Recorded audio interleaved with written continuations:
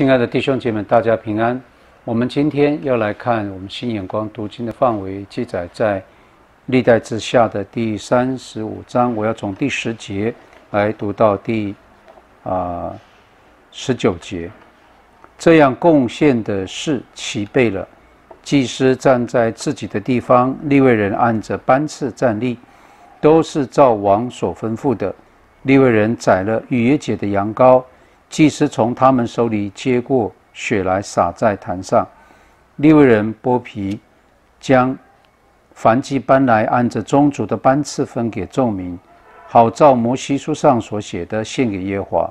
献牛也是这样，他们按着常例用火烤月节的羊羔，别的圣物用锅、用釜、用罐煮了，速速地送给众民，然后为自己和祭司预备祭物。因为祭司亚伦的子孙献燔祭和脂油，直到晚上，所以利未人为自己和祭司亚伦的子孙唱歌的亚萨的子孙，照着大卫、亚萨、希曼和王的先见耶杜顿所吩咐的，站在自己的地位上守门的看守各门，不用离开他们的职事，因为他们的弟兄利未人给他们预备祭物。当日供奉耶和华的事齐备了，就照耶稣亚王的吩咐守月节，献燔祭在耶和华的坛上。当时在耶路撒冷的以色列人守月节，又守除孝节七日。自从先知沙漠以来，在以色列中没有守过这样的月节，以色列诸王也没有守过。像约西亚祭司、利未人在那里的犹大人和以色列人以及。耶路撒冷居民所守的逾越节，这逾越节是约西亚做王十八年守的。好，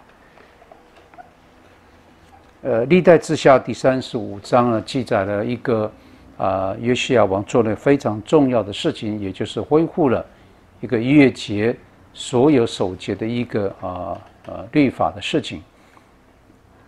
可以看得见，非常的忙碌，立位人、立位支派负责这样的事情。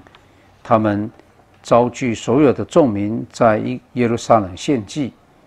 圣经上说，这些日事情是自从这个先知沙漠以来都没有在做的。那可见犹大南国本身就很少做，更不要讲北国了。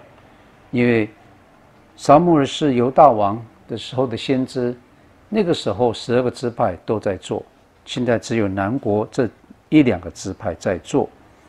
那我们要讲几件事情。当然，现在的基督教会当中，除了啊犹太宗教，他们还在守啊这几个旧约的律法的节期。我们基督宗教再也没有在守逾越节了。呃，是根据在西元三百二十五年的时候，尼西亚的一个大会当中，他们颁布了尼西亚的信经。里面的内容宣告是三位一体的信仰的根本，也就是其中有一条呢，也改变了一个所谓犹太的啊犹太历的算法，把节期都改变了，而改变由什么呢？复活节作为整个基督宗教的一个中心，所以现在我们在看教会年历，我们都是以复活节作为一个核心，然后环绕在基督耶稣的身上。那么你就可以想见，犹太宗教本身到如今还是不接受耶稣基督作为他们的弥赛亚，也就是救世主。因此，在这个会议当中就改变了。我们开始是以这复活节作为教会历的算法。当然，复活节跟逾越节这两个节期，可以讲是非常的啊，这个也有相关联的。逾越节是纪念旧约时代。以色列百姓，他们从埃及透过耶耶华上帝派遣的摩西，从埃及这个逃离出来。那么他们当中做了一件事情，就是在最后一个晚上，十灾的最最后一个晚上，就是扑杀长子。这个扑杀长子所用的一个记号，就是凡是属于以色列百姓的，必须在门楣上用羔羊涂抹。同时，就在他们家当中，要用这个很快的时间，赶快吃无效饼。所以，一个记号就拯救了这个以色列家。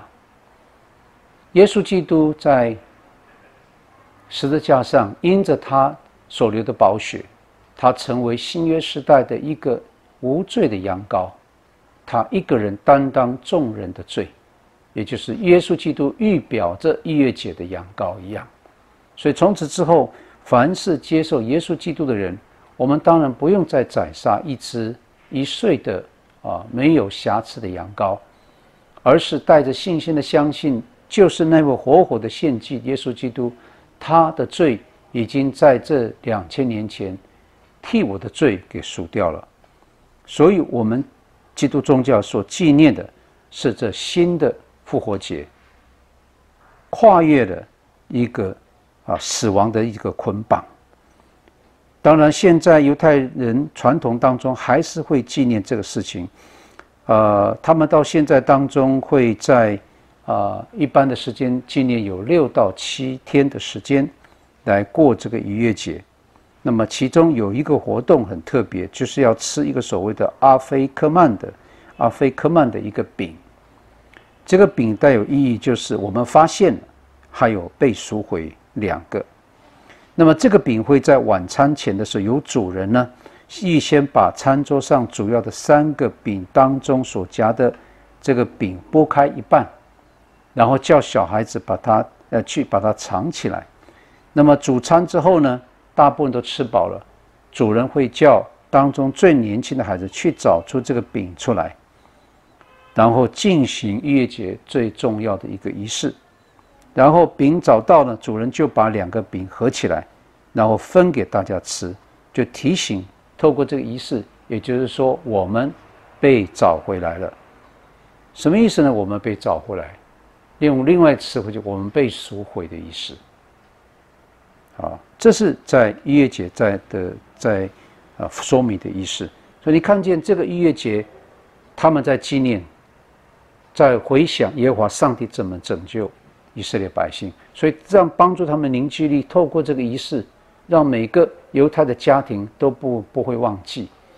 好，我们现在回到整个现实面来讲。他们在家里面行这个举行逾越节，家家户户的犹太人纪念耶和华上帝是他们真正的上帝。那反而现在我们在过复活节的时候，我们在教会当中呢就举行了。我们在教会当中透过圣餐来举行，耶稣的身体代表着他的这个饼来代表耶稣身体，葡萄汁代表耶稣的血，我们在那边吃喝，所以这两个节日都息息相关的。亲爱弟兄姐妹，这就是节期的重要。一个基督徒，倘若你连教会的礼拜礼仪都不去参加的时候，我们会变成一个状况，就是说，用我们自己想法去敬拜自己所想象耶和华上帝。因此，在牧师当中，他的讲到，他不会去忽略了节期的重要。无论是逾越节，我们用复活节来讲，受难节。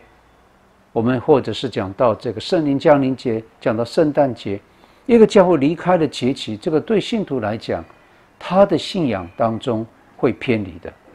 所以，亲爱弟兄姐妹，为什么会读旧约？旧约似乎看起来对对我们来讲非常的枯燥，可是当你明白真正的意思，原来一个月节是如此的繁琐当中、沉重当中所付出的代价，拯救了以色列的百姓。而耶稣基督也是如此，在这个背景当中，他牺牲了他自己。我们难道不能够用谨慎的态度来纪念吗？过我们以后所谓的节期，愿上帝帮助我们。当我们读到圣经、读到历史的时候，我们才发现它的意义深远。愿上帝祝福你，阿门。